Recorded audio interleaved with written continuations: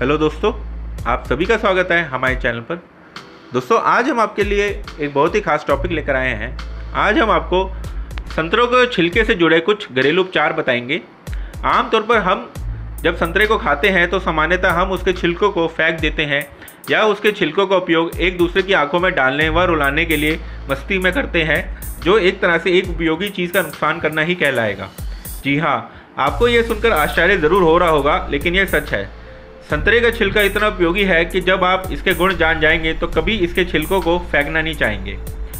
अगर आपके बाल एकदम रफ और बेजान दिखाई देते हैं तो संतरे के छिलके आपके लिए वरदान साबित हो सकते हैं।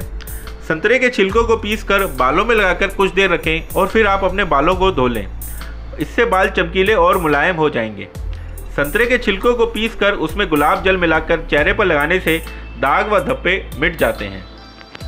संतरे के छिलके में क्लीजिंग एंटी फंगल और एंटी बैक्टीरियल गुण पाए जाते हैं, जो कि पिंपल और एक्ने से लड़ने में सहायक होते हैं। संतरे के छिलके को सुखाकर पीस कर उसे दही में मिलाकर स्किन पर लगाने से स्किन ग्लोइंग व स्मूथ बनती है। संतरे के छिलकों को बेसन में मिलाकर लगाना ऑयली स्किन वालों के लिए विशेष रूप से फ़ायदेमंद होता है और पेयर पिंपल्स को खत्म कर देता है। एक अध्ययन के अनुसार यदि किसी व्यक्ति को कोलेस्ट्रॉल की प्रॉब्लम हो तो ऐसे में संतरे के छिलके उपयोगी साबित हो सकते हैं। संतरे के छिलकों में ऐसा गुण पाया जाता है, जिससे उच्च कोलेस्ट्रॉल सर्क जो मोटापे से ग्रस्त व्यक्तियों को फ़ायदा हो सकता है।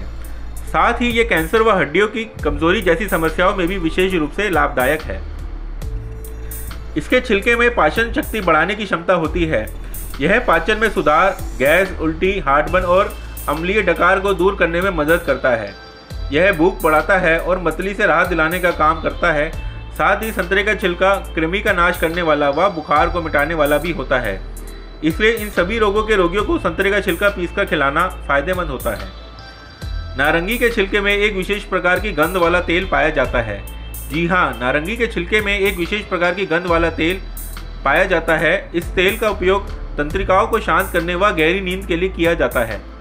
नहाने के पानी में इसकी दो से तीन बूंद तेल डालिए और फिर देखिए, आपको कितनी मीठी नींद आती है। तो दोस्तों, ये हमने आपको संतरे के छिलकों के कुछ बेहतरीन उपयोग बताए।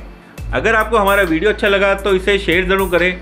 और अगर आप कोई भी जानकारी जानना चाहते हैं तो आप नीचे कमेंट बॉक्स पर लिखें। हम जल्द ही आपको इसका उत्तर देंगे। धन्यवाद।